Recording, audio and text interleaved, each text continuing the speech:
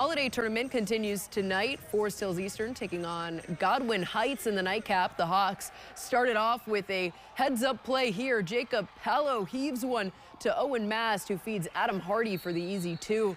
Forces a Godwin timeout with Forest Hills Eastern up 13 to 6. Godwin would come back to come would come back, though. Rashad Dorsey with the bounce pass to Marcos Rodriguez for two. Hawks still in front, and it would stay that way. Jace Culps hits the floater here in transition to make it 28-15 as Forest Hills Eastern is coming away with a 76 to 56 win.